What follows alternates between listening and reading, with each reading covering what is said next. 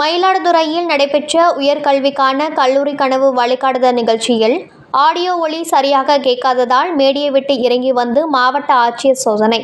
அதிகமான புழுக்கத்தால் நோட்டை வைத்து விசிறி கொண்டிருந்த மாணவர்கள்.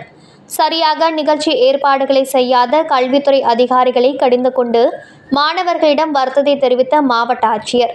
உடனடியாக ஒளியை சீரமைத்து ஏர்கூலர் அமைக்க அதிகாரிகளுக்கு உத்தரவிட்டதால் பரபரப்பு. மயிலாடுதுறையில் தருமபுரம் ஆதினம் கலை மற்றும் அறிவியல் கல்லூரியில் உள்ள கூட்டாரங்கள்.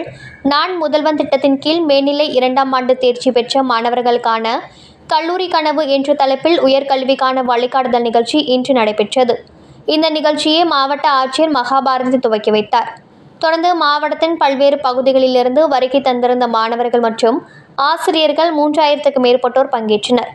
அதனைத் தொடர்ந்து பன்னிரெண்டாம் வகுப்பு பொதுத் தேர்வில் அதிக மதிப்பெண் பெற்ற மாணவ மாணவிகள் ஆசிரியர்களுக்கு கேடய மற்றும் சான்றிதழ் வழங்கி ஆட்சியர் பாராட்டுகளை தெரிவித்துக் கொண்டார்.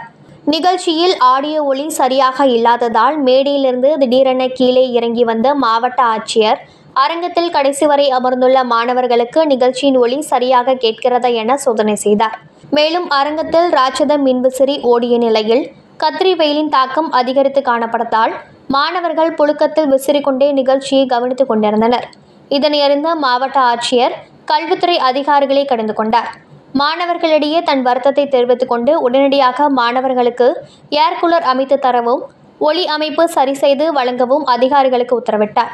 இதனால் பரபரப்பு ஏற்பட்டது. இத்தகவலை நமது செய்தியாளர் தாரிக்கனி மயிலாடுதுறையிலிருந்து தெரிவித்துள்ளார்.